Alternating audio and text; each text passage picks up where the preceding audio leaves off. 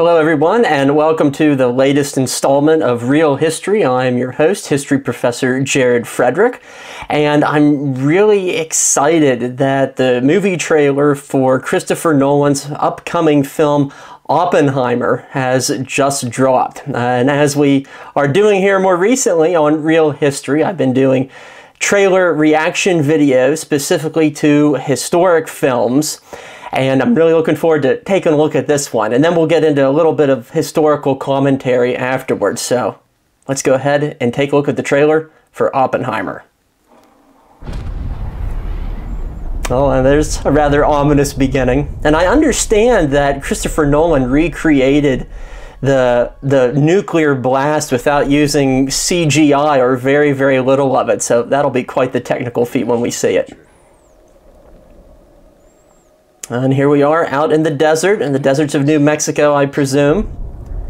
Uh, Cillian Murphy is perfectly cast for this in my mind. Uh, in fact, he's five years older than J. Robert Oppenheimer. Until they understand it. Wow, it, it looks like a science fiction film. And the, the trailer for Dunkirk, Nolan's previous World War II film, had that sort of same vibe. It was a historical film, but at first glance, you didn't necessarily know that it was a historical film. Theory will take you only so far. This looks incredible. The visuals of it are just stunning.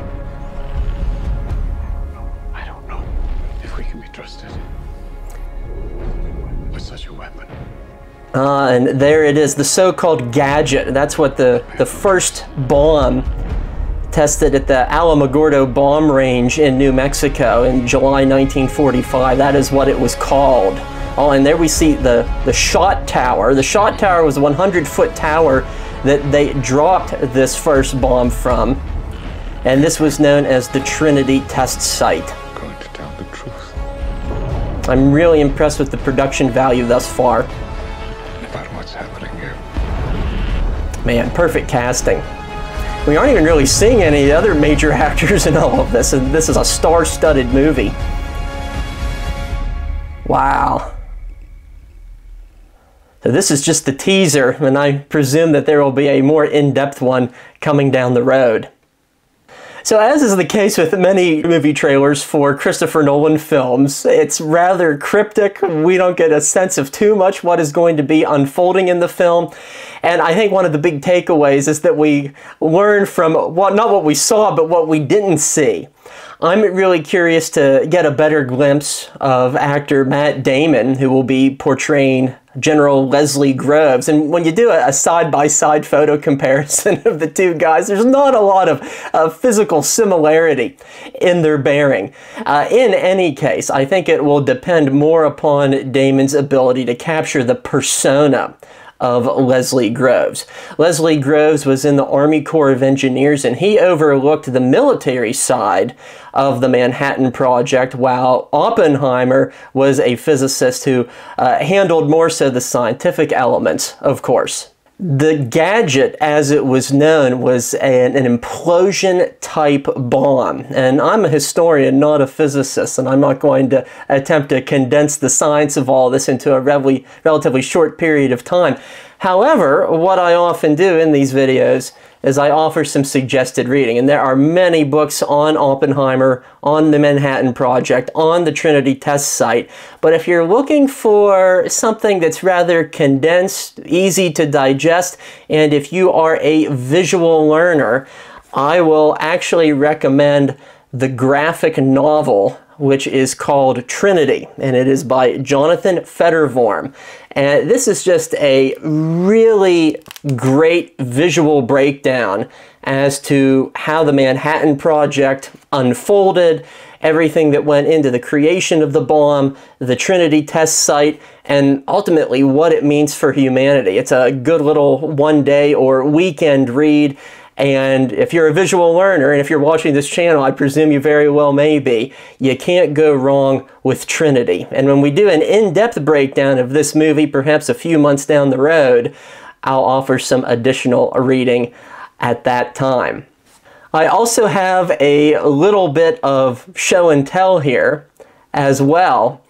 And this is a souvenir of Trinitite. Uh, and this is actually the, the glazed over residue of the atomic blast site, the Trinity test site in Alamogordo. And uh, this is from a vendor that is known as the Atomic Rock Shop. Now, the Trinity test site was bulldozed over in 1952, and uh, people are prohibited from taking pieces of the, the remnants of this blast.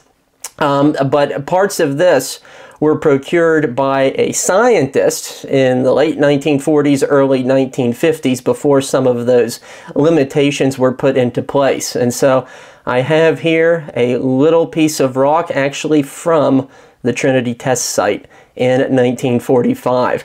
I passed this around in the classroom a few weeks ago and students were, well, blown away by it. Poor joke, maybe so. In any case, I'm really excited by this movie.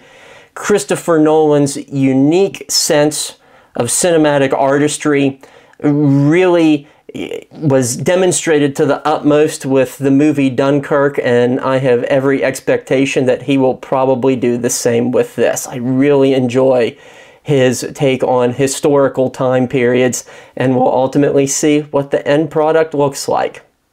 So, Thank you for tuning in to this short episode of Reel History.